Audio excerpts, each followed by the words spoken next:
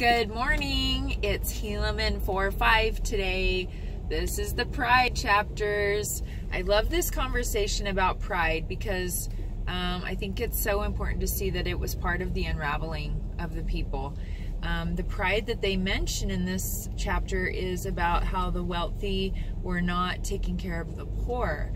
But it also brought to mind that our ministering program has changed, our visiting teaching and home teaching to ministering and I believe it's so that we can create Zion. And Zion, what is the Zion people? The Zion people are one heart and one mind. And when you know each other's heart and mind, then you're able to meet the needs of one another. So I think sometimes pride is just getting in the way of knowing each other and knowing what each other needs. It's not even just about, you know, money.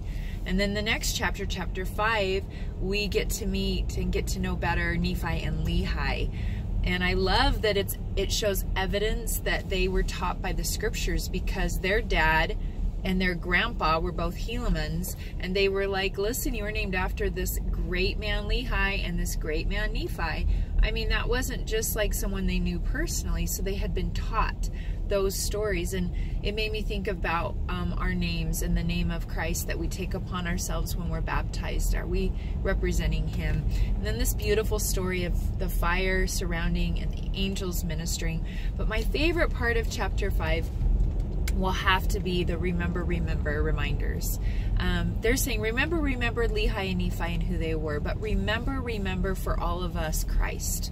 And that is what the Book of Mormon will do. It will help us bring our hearts open to Christ. And if we choose to remember, remember, we will not forget and we will not be led astray. So join me tomorrow. Thank you.